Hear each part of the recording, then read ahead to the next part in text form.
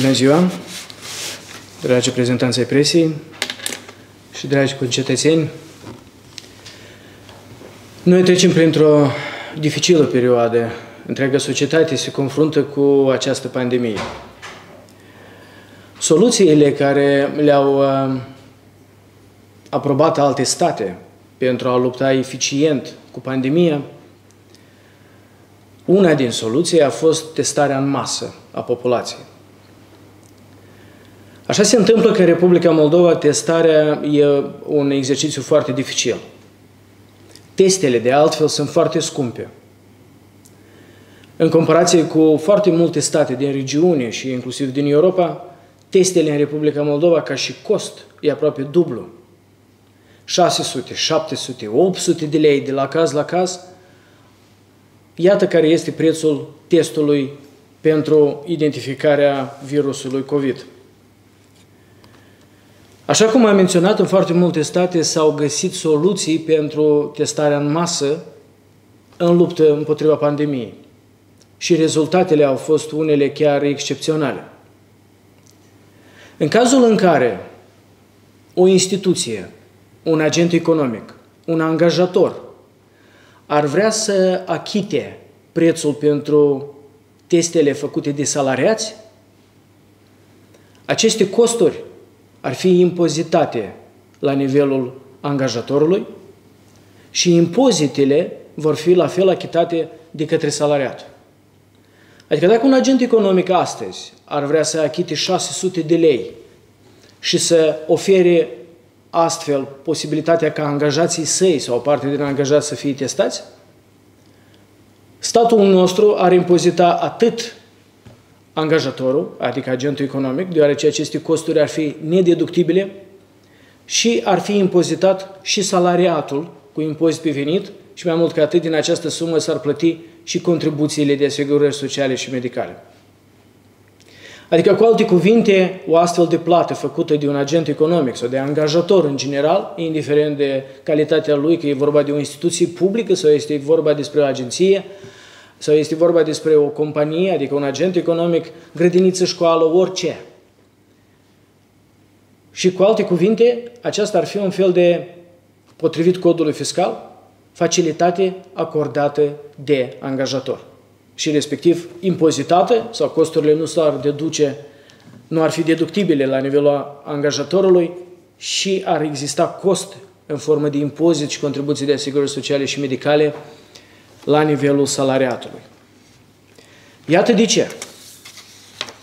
Pentru ca, în primul rând, să facilităm și să încurajăm angajatorii, indiferent de forma de organizare a acestora, să achite testele pentru salariați și pentru a încuraja astfel testele sau testarea în masă a populației, ba mai mult ca atât, pentru a ajuta, pentru a veni cu un suport companiilor sau agenților economici și salariaților, mai ales în această perioadă de timp când economia stagnează și pentru o perioadă foarte mare de timp companiile au fost blocate sau restricționate în activitate.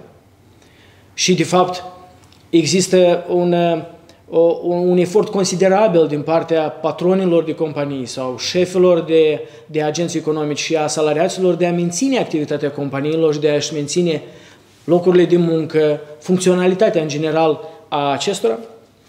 Iată de ce noi cei de la ProMoldova venim cu o inițiativă legislativă cu modificări și completări în legislația actuală, nemijlocită în codul fiscal, ca elemente pentru perioada tranzitorie, anume pentru perioada prin care trecem noi, adică de situație excepțională în sănătate, ca în această perioadă de timp, plățile care le va face angajatorul în favoarea salariatului pentru sau cu costul testelor să fie, pe de o parte, deductibile aceste costuri pentru angajator, iar pe de altă parte să fie neimpozabile și nesupuse plăților în, în asigurări sociale și medicale pentru salariat.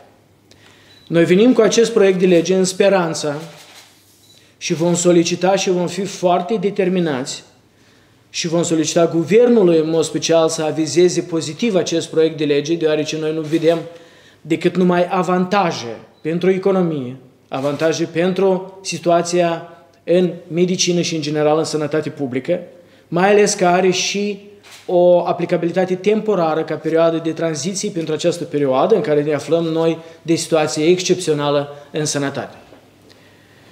Vom înregistra astăzi acest proiect de lege, vom solicita susținerea și colegilor din Parlament, indiferent de fracțiunile parlamentare, deoarece, în cazul de față, nu este vorba de o poziționare sau o capitalizare sau confruntare politică sau cineva încearcă să-și câștige dividende politice. Este un proiect de lege care cu adevărat, cu adevărat, va fi benefic în lupta împotriva pandemiei, prin încurajarea testărilor cât, a câtor mai multor persoane și, doi, e un suport pentru economie, pentru agenții economici și pentru salariați, în așa fel încât testele să fie făcute, achitate de angajator, la dorință, sigur, nu este o obligație, este o posibilitate și în cazul de față fiind încurajați prin scutirile și facilitățile oferite ca excepție la prevederile codului fiscal.